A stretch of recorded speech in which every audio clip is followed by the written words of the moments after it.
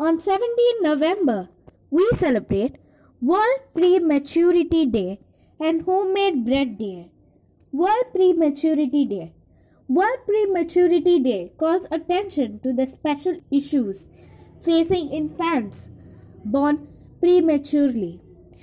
Celebrates the development and growth of older babies and children who are born prematurely and is a great day to support members of your community who work with newborns and premature infants or are parents adjusting with prematurely born infant. Homemade bread day.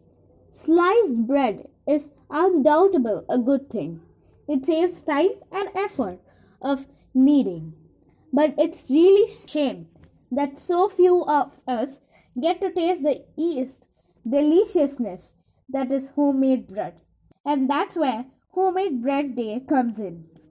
The origin of this day are shrouded in mystery, but its suppose and benefits obvious. The invention of the bread maker has taken a lot of effort out of baking, meaning that there's no reason why everyone should not enjoy homemade bread, which is often much higher quality than the stuff you can buy in a shop.